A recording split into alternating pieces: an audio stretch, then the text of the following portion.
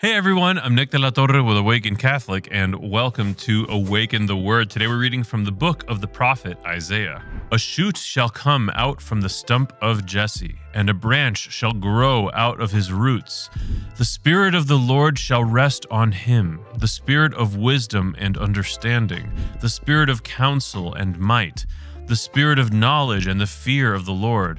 His delight shall be in the fear of the Lord. He shall not judge by what his eyes see, or decide by what his ears hear, but with righteousness he shall judge the poor, and decide with equity for the meek of the earth.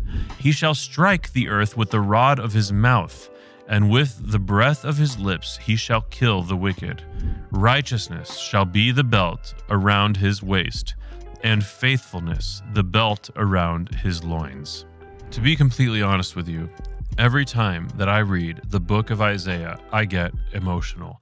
Almost anything in the book of Isaiah is so powerful and beautiful, and it speaks to the longing in God's heart for us, and it speaks to our longing for God. The book of Isaiah is so beautiful.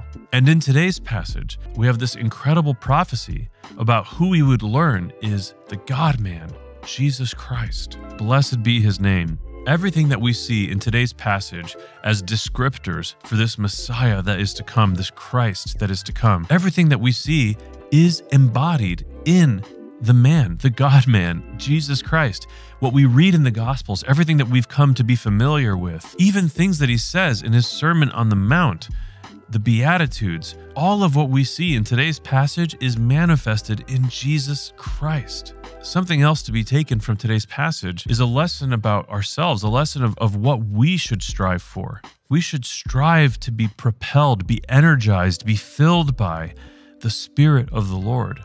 We should strive to judge people not by what we see immediately or by the gossip that we hear, but in righteousness, acknowledging what we don't know because we aren't God, we aren't the Messiah, and loving everyone around us regardless of what we perceive. My invitation to you is is to like me in reading today's passage from Isaiah to cherish all the more deeply what we have in Jesus Christ and to desire and work towards emulating his characteristics, even as described in today's passage from Isaiah, in ourselves, to emulate those things in ourselves, to be little Christs, to be Christians.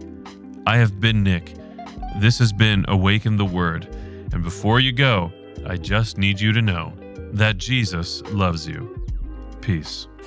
Thank you for tuning in to Awaken the Word.